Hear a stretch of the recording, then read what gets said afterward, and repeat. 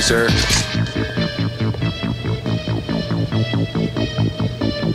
Forgot your receipt.